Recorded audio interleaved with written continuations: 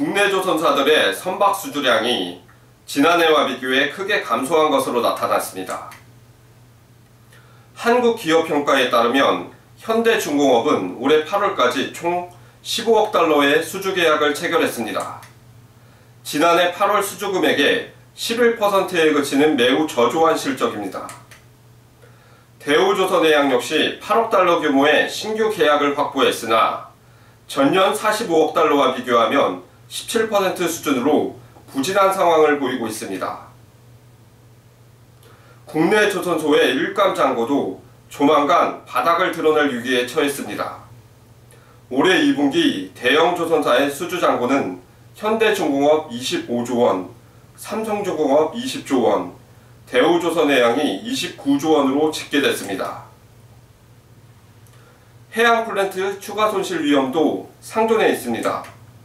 현대중공업은 슈케이크, 제다사우스 등의 프로젝트에서 추가 손실이 이어지고 있으며 삼성중공업은 저유가 상황이 이어지면서 해양 공사들의 계약 취소 및 인도 지연 등 선주사 리스크에 크게 노출돼 있습니다.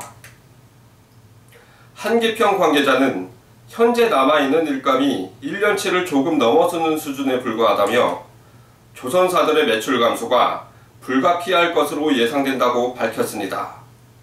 KSG 뉴스 최성원입니다.